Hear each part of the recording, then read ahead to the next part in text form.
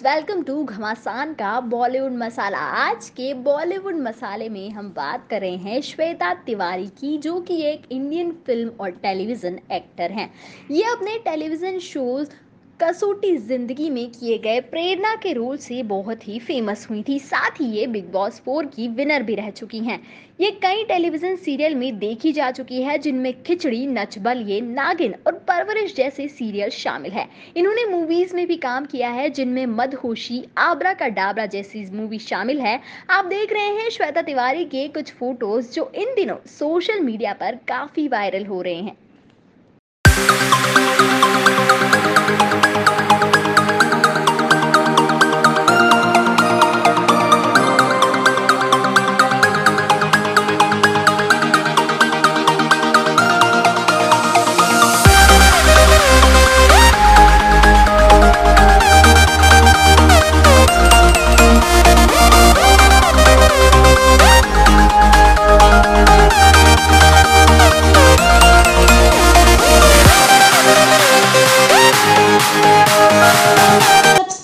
Our channel and press the bell icon for more updates.